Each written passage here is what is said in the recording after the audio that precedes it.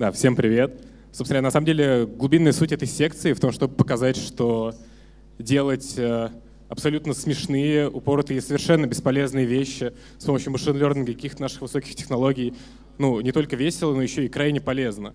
И на самом деле вместо вводного слова я расскажу про один из наших прошлых проектов, который является почти эталонным как бы э, в этой области.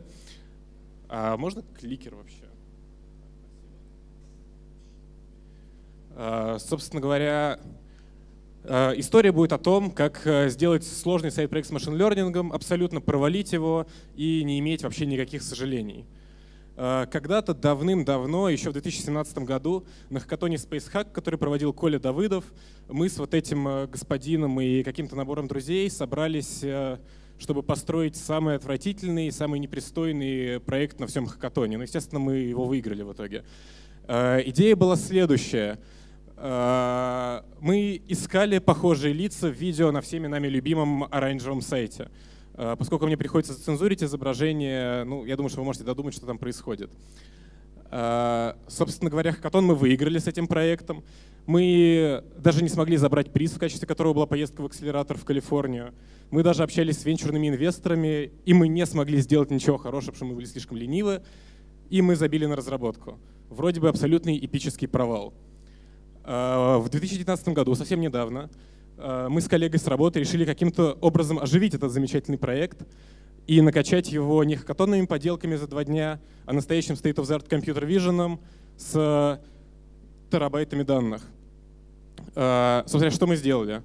Мы скачали огромное количество видео с Панхаба, более 200 тысяч полностью со всеми метаданными, и мы нашли на них все лица, и это первый пример крутого сайд-эффекта такого трэш-проекта. Соответственно, замечательный Игорь Рекун, которого вы сегодня еще увидели, написал кастомный э, face-детектор из 3FD, который быстро работает и настолько качественно, что находит даже не совсем человеческие лица, как вы можете заметить. Этот код в open source на GitHub и уже используется в продакшн-проектах. Э, для face recognition, мы, для распознавания лиц, мы использовали Код от китайцев под, uh, State of the Art uh, модели под названием Inside Face. В оригинале код был абсолютно нечитаемый, им было невозможно пользоваться. Мы переписали, перепаковали его в удобный человеческий вид. Теперь там уже, кажется, что-то близко к сотне звездочек на гитхабе, и он используется в трех продакшн-проектах. И для того, чтобы хостить целых uh, три веб-сервиса, Face Detector, штуку, которая ищет похожие лица, и KNN — и контролировать это все и хостить Telegram-бота, мы использовали фреймворк Wrappa, добрая половина кода в котором была написана в процессе реализации этого проекта. И опять же, этот фреймворк используется в продакшене.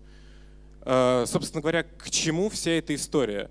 Всего лишь как-то раз э, набухавшись и угорев на хакатоне, э, мы создали проект, который нам позволил не только поржать и поугарать, но и построить целых три полезных продакшн библиотеки, которыми люди пользуются прямо сейчас. Соответственно, стоило ли вообще все это того? Стоило. Ну и все дальнейшие доклады в этой секции постараются как бы донести эту мысль о том, что вы можете не только делать что-то веселое, но еще и научиться многому в процессе. Ну или наоборот, чему-то учиться, параллельно делать что-то веселое.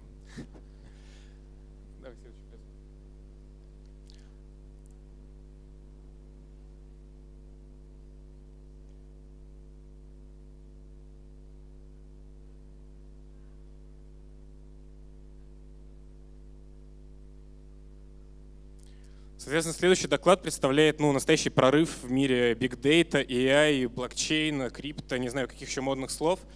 Э, вы можете производить инференс ваших нейронных сетей абсолютно бесплатно.